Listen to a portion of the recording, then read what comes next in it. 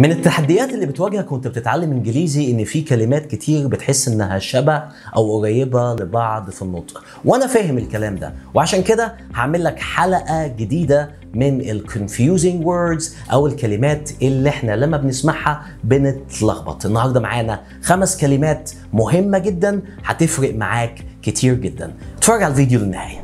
عاوزك بقى تركز معايا في نطق الكلمتين دول لأن دول أول كلمتين. الفيديو ده فيديو نطق. فنطق واسمع. أول كلمتين where أين؟ were كان.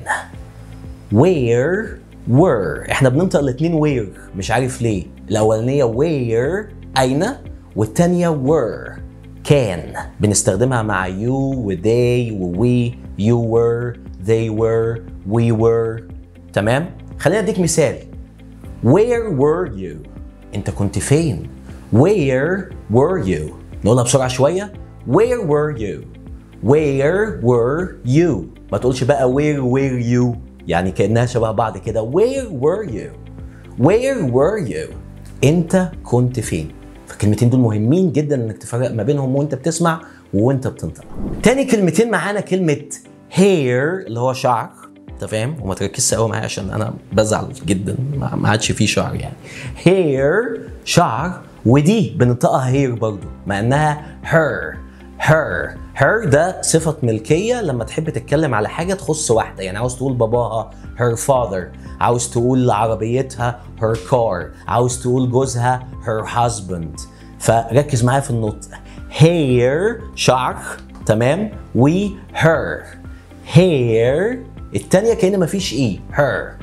Hair her. Hair her. Hair her. أنا أنا علقت ولا إيه؟ قول ورايا. يلا بينا.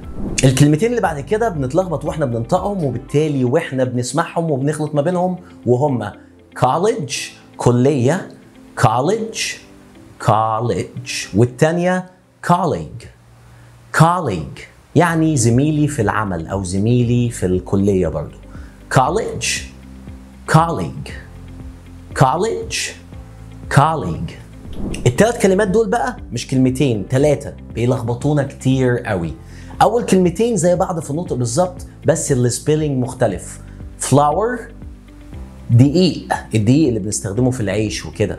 flower والتانية ال- الوردة يعني. flower flower flower flower.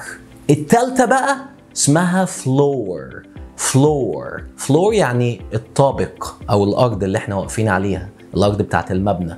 يعني مثلا لو عاوز أقول أنا عايش في الدور الثالث أو الطابق الثالث. I live on the third floor. Floor. Floor.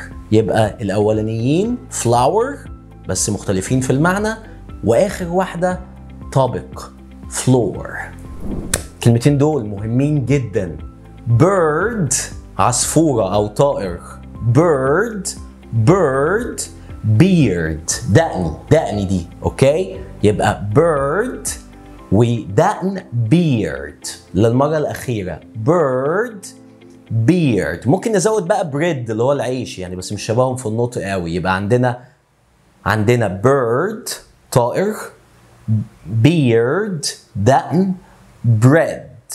عيش اتمنى يكون الفيديو بتاع النهارده عجبك واستفدت منه please share and like عشان خاطر نعمل سلسلة جديدة أو حلقة جديدة في ال confusing words. Wish you all the best.